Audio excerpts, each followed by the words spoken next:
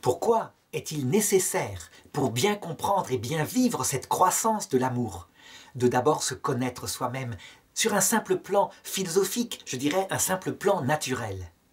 Eh bien tout simplement parce que la grâce de Dieu qui va augmenter en nous l'amour et aussi l'humilité, les deux qualités essentielles pour voir Dieu. Eh bien cette grâce, elle agit dans notre vie surnaturelle de la même façon qu'elle agirait dans un amour humain. La grâce suit notre nature, elle fonctionne comme notre nature. Nous serions des anges, ce serait très différent, il n'y aurait pas tout ce développement dans le temps, avec une purification, des étapes. Les anges, eux, qui sont des purs esprits, ils découvrent Dieu avec leur intelligence, d'un coup ils comprennent, et d'un coup ils choisissent, et ils ne bougeront plus. Pourquoi? Parce que n'ayant pas de sensibilité, ils ne peuvent pas progresser dans la connaissance, découvrir d'autres choses. C'est parfait d'un coup.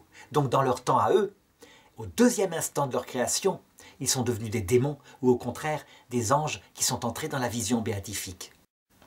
Eh bien pour nous qui sommes des hommes, ça suivra le cheminement de l'amour. Et c'est pourquoi Saint Paul dit, si vous voulez comprendre le cheminement de l'amour, le rapport avec le Christ, eh bien regardez le mariage. Le mariage est un grand signe, je veux dire, il révèle le rapport entre notre âme et Dieu. C'est dans l'épître aux Éphésiens.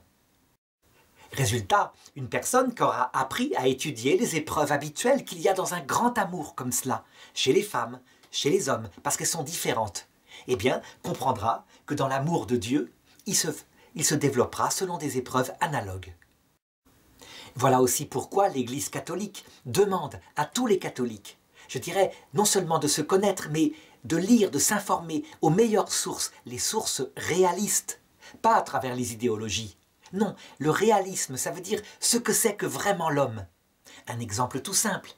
Toute personne qui a connu ne serait-ce qu'un amour à son début sait très bien qu'au bout de quelques mois, les choses s'usent, le sentiment s'use. Certains disaient l'amour ne dure que trois ans. Non, c'est le sentiment qui ne dure que trois ans.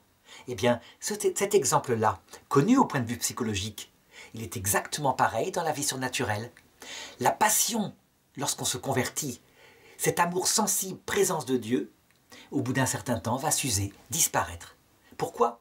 Pour apprendre à aimer Dieu au-delà de ses plaisirs, pour lui-même. Alors on le voit, l'analogie avec l'amour humain permet de comprendre ce que Sainte Thérèse d'Avila appelle la nuit des sens, la nuit des sensations.